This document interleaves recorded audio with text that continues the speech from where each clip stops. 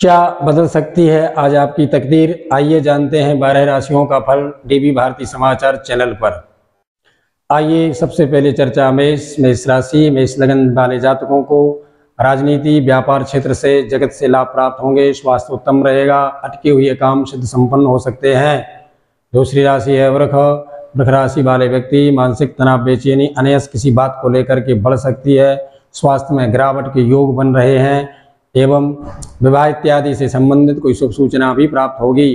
तीसरी राशि, मिथुन मिथुन राशि वाले व्यक्ति या जातकों के लिए कृषि क्षेत्र से सफलता हाथ लग सकती है। ज़मीन का आज आप क्रय विक्रय करते हो, श्रेष्ठ उत्तम रहेगा।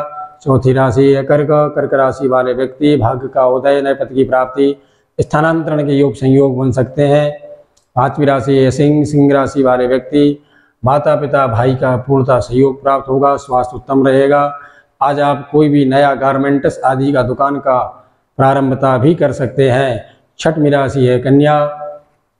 कन्या राशि वाले व्यक्ति मानसिक तनाव, बेचैनी, उतार चढ़ाव की स्थिति किसी बात को लेकर बढ़ेगी एवं उसमें कोई नया मोड़ आ सकता है, स्वास्थ्य में भी गिरावट हो सकती है।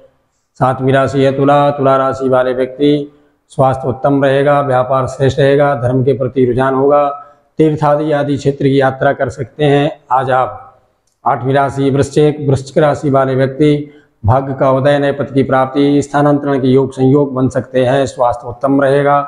नवम राशि धनु धनु राशि वाले व्यक्ति आज आप सांसद आदि के चुनाव से संबंधित कोई चर्चा रखते हैं, नामांकन के प्रति आपका विशेष भाव है, लगाव है, काम सिद्ध संपन्न होगा। दसम राशि मकर मकर राशि वाले व्यक्ति, व्यापार जगत से कानूनी कोर्ट कचहरी मुकदमा आदि क्षेत्र से सफलता हाथ लगेगी।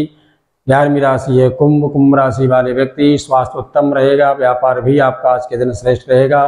अटके हुए काम सिद्ध संपन्न होंगे।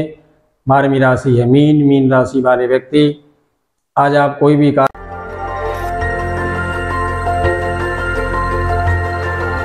देखते रहिए डीबी भारती समाचार, नज़र हर खबर पर।